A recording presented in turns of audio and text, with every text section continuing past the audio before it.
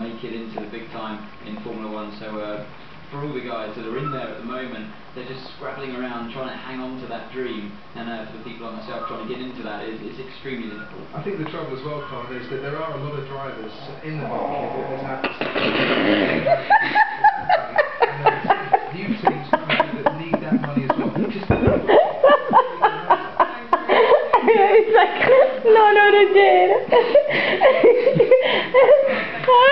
God this is.